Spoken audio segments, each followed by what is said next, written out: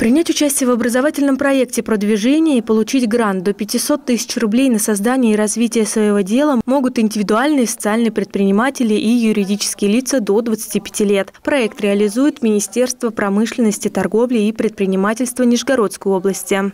Данный проект будет проходить в несколько этапов.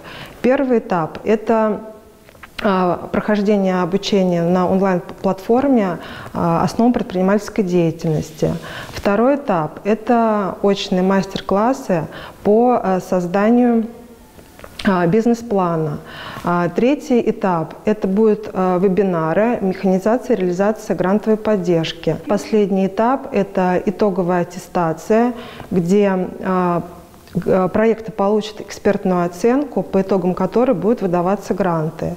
Заявки на проект принимают до ноября. Обучение проходит сразу после регистрации.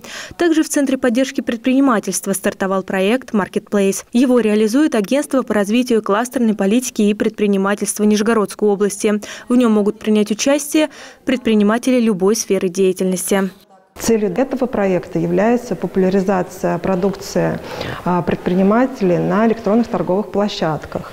Проект Marketplace проводится в пять этапов. Оказание консультационных услуг по выходу на Marketplace, проведение онлайн-обучения по программам, мастер-классы по созданию фото и видеоконтента, отбор участников проекта и оказание услуг по созданию интернет-магазина на Marketplace под ключ. Подать заявку на участие в проекте можно до конца года. Более подробную информацию можно получить в Центре поддержки предпринимательства в кабинете 201, либо по телефону 992 64.